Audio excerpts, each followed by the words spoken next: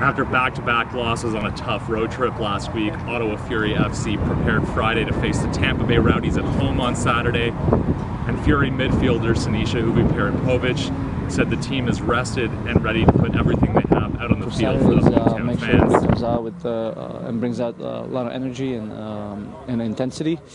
Um, I think uh, one of the main things is going to be uh, uh, also urgency. Kickoff on Saturday night against Tampa Bay is set for just after 7 o'clock at Keith Harris Stadium. Chris Hofley, Ottawa Sun.